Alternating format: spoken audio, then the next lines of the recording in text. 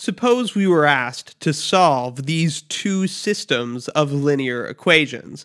That wouldn't be too tremendously difficult, but you might notice that these two systems have the exact same setup on the left x1 minus 5x2, x1 minus 5x2, and so on. So if we were to construct the augmented matrix for this system and for this one, the coefficient matrix would be exactly the same. The coefficients here are 1, 3, negative 5, 2, 1, 3, negative 5, 2. We can actually use Gauss-Jordan elimination or Gaussian elimination to solve both of these systems at the same time because their coefficient matrices are the same. Here it is. It's like we set up an augmented matrix for one system. Here's the coefficients, here are the constants, but why not do both at the same time? We can just throw in another column of constants from the other system of equations because the coefficients are exactly the same. By performing Gauss-Jordan elimination or Gaussian elimination on this matrix, we can solve both systems at the same time. Here are the steps we would take. We change row 2 by subtracting 3 copies of row 1. and that way, we introduce a 0 below that leading 1. Then we multiply row 2 by 1 over 17 to make that a 1. And then we add 5 copies of row 2 to row 1 in order to get rid of that negative 5.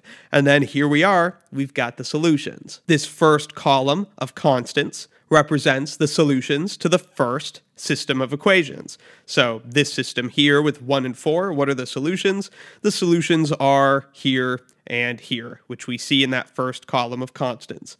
And similarly for the second system, its solutions are given in the second column of constants.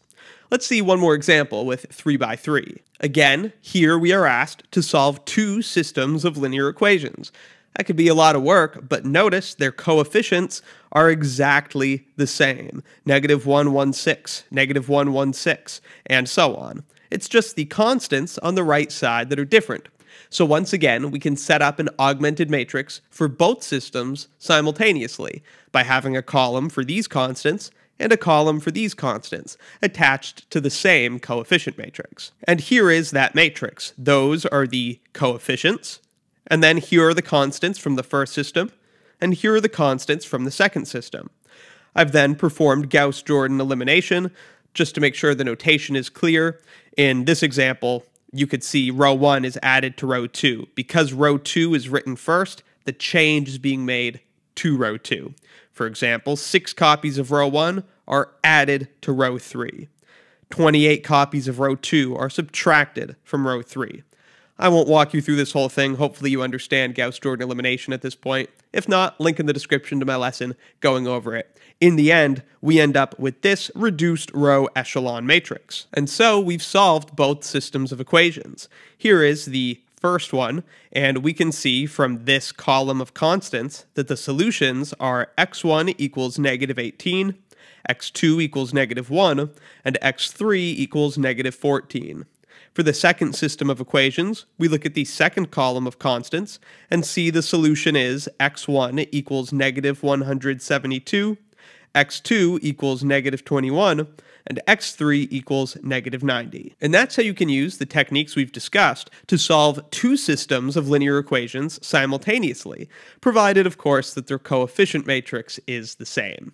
Let me know in the comments if you have any questions, and be sure to check out my linear algebra course and linear algebra exercises playlists in the description for more. Thanks for watching. Uh, uh. I'm the mathematical menace, the machinations of mankind. Two calculators at the same time, hand signs and abacus, finger count and calculus. I'm the V to the T, my parameter, the rapidest. Happens like this, my lectures, the most prominent, dominant. Call me the Morgan, I get the compliments. The union in together like anytime that we intersect, cause my opponents know they need.